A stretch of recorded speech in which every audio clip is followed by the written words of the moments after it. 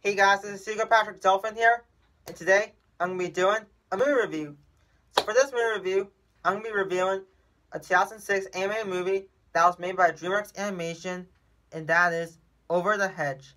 So the plot of Over the Hedge is basically you have this raccoon named RJ, played by who's who's basically a raccoon trying to, to find food, and basically he did he did find food, but he actually stole it from one of his friends who's a bear named Vincent. So basically, an, an accident, an RJ accidentally um accidentally crushed um um Vincent um Vincent's food. So basically, Vincent had ma- made a deal with RJ that if he he has like he he has like a week to get off his to bring off his food back.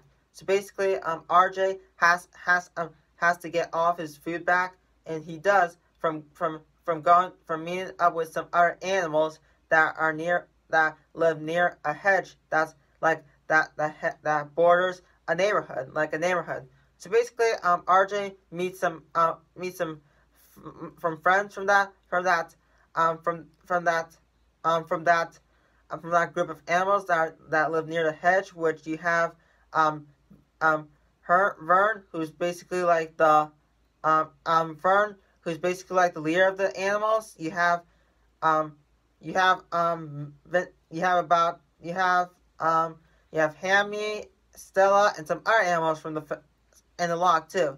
So basically, um RJ has a plan that he might that he's going to that he had that he's going to steal some of the food some some of the food from the neighbors and that live in that neighborhood that's over the head that's from that's a that's over that's on the other side of the hedge from the from the animals in the woods. So basically, RJ um, RJ RJ told the animals about the food and some of the things that the that the that the, that the, that the neighbors like, and them and all the animals like it except for the leader, which is Vern, because Vern does not does not like it, and and, and he thinks that RJ is putting them into danger. So basically, um, RJ and and some of uh, RJ and some of the our animals were stealing some food that are that are part that are that are from that are from um that are from um Vincent's um food list because Vincent that are the food that that RJ had cr- accidentally crushed. So basically, um RJ has to do whatever he can. So yeah. So basically, in the film, RJ has to do whatever he can to to get all the food from Vincent and return it to him. So and return to him while trying to make his our friends in the lock safe. So yeah, and also also there also you have some other and also there are some people that don't like the film that don't like them like they're trying to stop like to stop the our animals because so one of the neighbors had called an exterminator um to get to to remove the animals. So it's, so it's up to like RJ and some of his other friends to stop to get all the food while they while they, they, they get captured from the exterminator and tries stay and try to um, give the food back to Vincent. So yeah, so that's like basically like the plot of Over the Hedge. So what do I think of it? In my opinion, I thought Over the Hedge was a was a good movie from 2006 because this movie this movie was a was a good movie and, and I think this movie was overrated. To be honest with you, I think some people say this movie was overrated, and I think I, I kind of agree with them because this movie was good and I think if the movie did not have a sequel or anything like a short or a special, well, it did have a short. It was called Hammy's Boomerang Adventure, which was like a four minute short short that came with the DVD release of Over the Hedge. So yeah, so basically, anyway, Over the Hedge was a good movie from 2006. The voice acting did pretty good. You have Bruce Willis who played RJ in the film. You have Steve Carell who played Hammy in the film, the squirrel. And you have Gary Chandler, who played Vern in the film, I think. And Wanda Sykes, who I think she played Stella the skunk in the film. I think. So yeah. So basically, so yeah. So basically, I thought Over the Hedge was a was a good movie from 2006. And I think the voice acting was pretty good. The animation was good. The story was good. And the music was good in this film as well.